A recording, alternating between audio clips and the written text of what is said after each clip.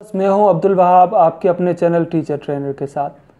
आज हम बड़े इंटरेस्टिंग टॉपिक पे बात करेंगे, जो है कि हम अपने आईक्यू लेवल को कैसे बढ़ा सकते हैं, अपनी जहानत में कैसे इजाफा कर सकते हैं।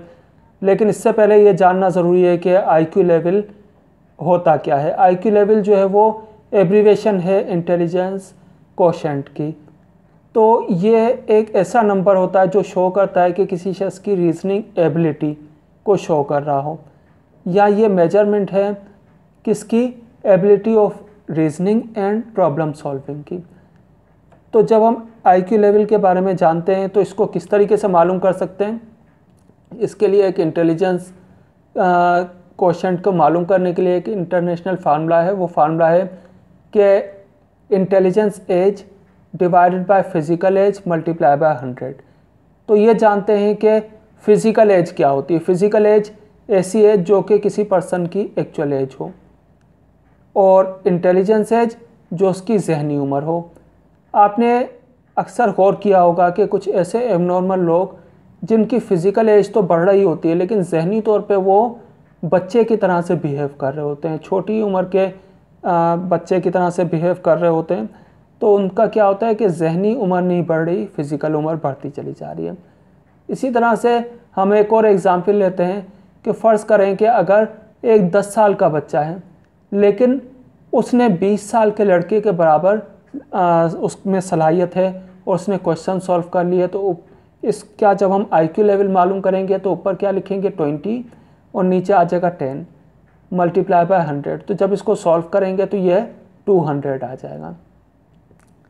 टू हंड्रेड किसको शो करेगा कि उसका आईक्यू लेवल उसकी उम्र से फ़िज़िकल एज से डबल है, वो बहुत ज़्यादा इंटेलिजेंट है।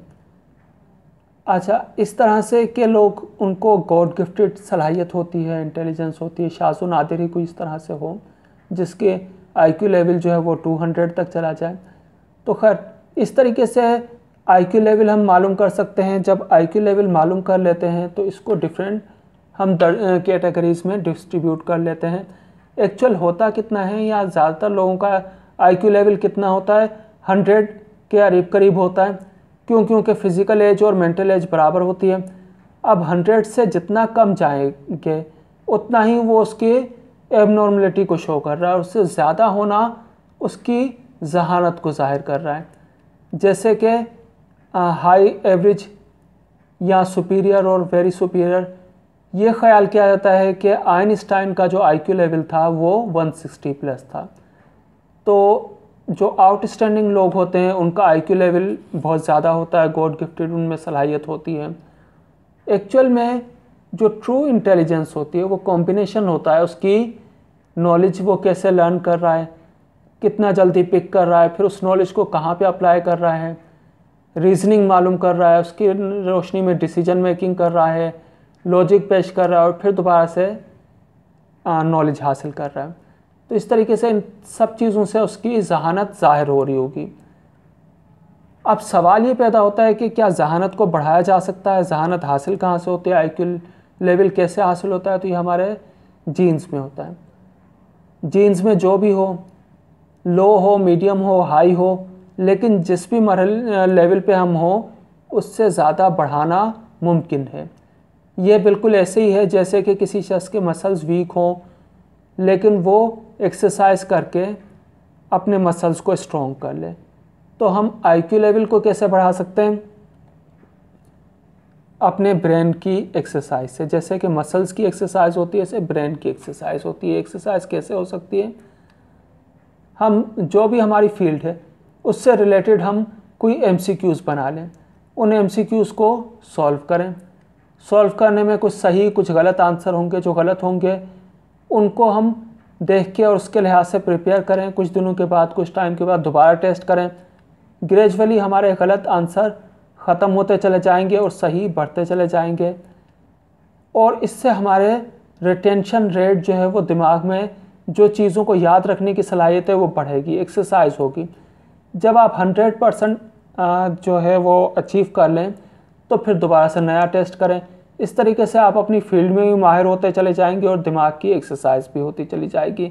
इसी तरह से जब आपस में गेम खेलें तो जैसे चेस हो गया या कुछ भी ऐसा जिससे कि आपको ब्रेन यूज़ करना पड़े और आप प्रॉब्लम सॉल्विंग डिसीज़न मेकिंग की सलाहियत आपकी बढ़ रही हो तो यही जो है वो आम ज़िंदगी में आपके लिए फ़ायदेमंद होगा। नंबर टू इसके लिए टिप है कि अपनी रूटीन को चेंज कर दीजिए। आपकी रूटीन जैसे कि हम अक्सर लोगों की हर एक किसी की अपनी अपनी रूटीन बनी हुई होती है और जब वो रूटीन बन जाती है तो फिर दिमाग को सोचना नहीं पड़ रहा होता, बल्कि ऑटो पे हम वैसा ही काम कर रहे होते हैं।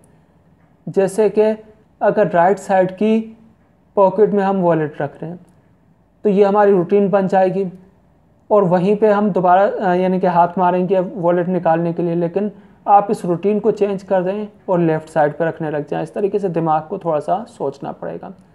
वो अपने कंफर्ट जोन से बाहर निकलेगा और उसकी एक्सरसाइज होगी। अगर आप शूज़ पहनते वक्त पहले राइट साइड का जो शू है, उसको पहनते हैं, उसके लेसेस बांधते हैं तो इसको उलट कर दें। और जो भी रूटीन हो, आप उसको चेंज करें। इस तरीके से चेंज करने से जो हमारा मकसद है ब्रेन को जहमत देना, वो हासिल हो जाएगा। और इस तरीके से दिमाग की एक्सरसाइज होगी। इमेजिनेशन आप कोई नावल पढ़ें, कोई स्टोरी पढ़ें, उसको इमेजिन करना शुरू कर दें। जैसे कि बचपन में हम स्टोरीज पढ़ते थे या सुनते थे तो उन्हें इमेजिन करते थे।